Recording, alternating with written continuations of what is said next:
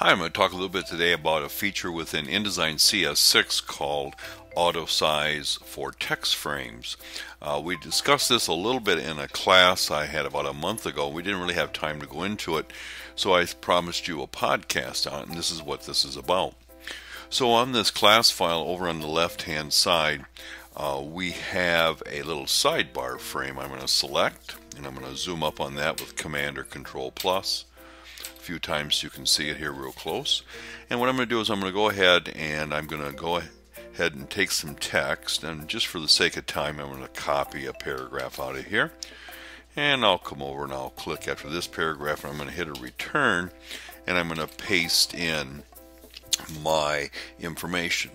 Well, as you can see down here in the lower right corner, I have an overset text icon, and you know what that means. That means this frame's too small to show me all the text. That's that paragraph I copied and pasted in there.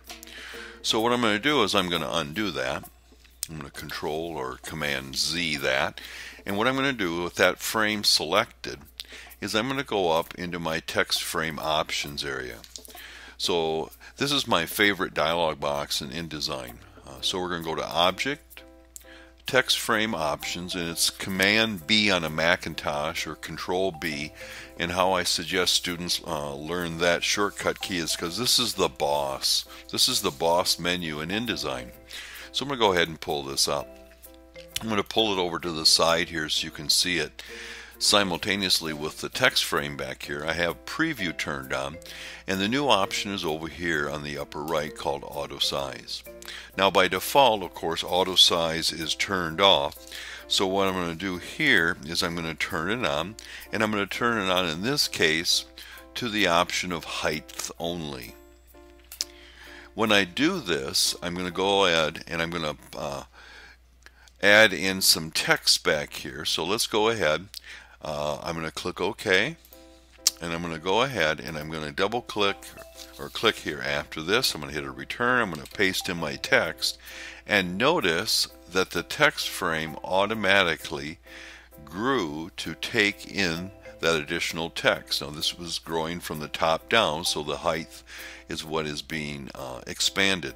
You know that if I take this out and I hit X is going to adjust that actual text frame to uh, adapt to that height of that frame.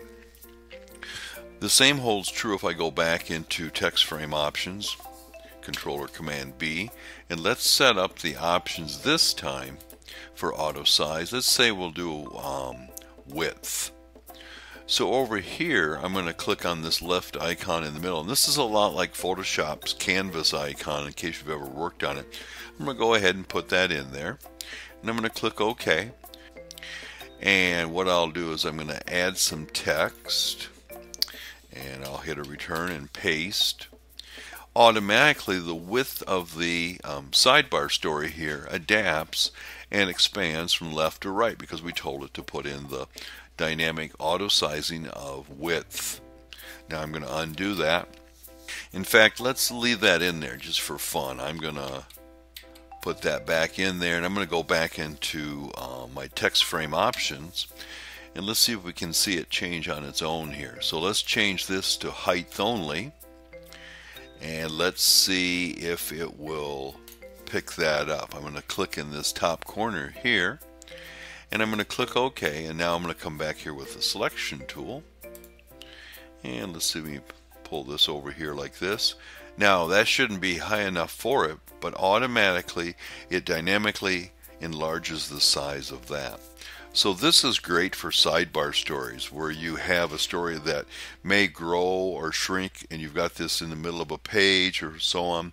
You can set this up so it will automatically do that resizing for you Another thing that you could do is let me uh, use my hand tool. I'm going to go Alt space bar, bar or Option space bar. I'm going to come over here to a jump line. And I have a little jump line here. It says bikes continued on. Let me zoom up on that. And maybe what we'll do is we'll set this one up so in case this jump line frame is used someplace else, maybe I copy it from here, maybe I use it someplace else. I can automatically set this up if I go into the boss menu, Command or Control B, let me turn on auto size and let me go ahead and put in width only. And then when you see the little arrow here, it's really kind of hard to see, but it's pointing back to the left. So I'm going to go ahead and I'm going to turn that on. So now if I type in here and add some text, this will dynamically change its width. So I'll delete that.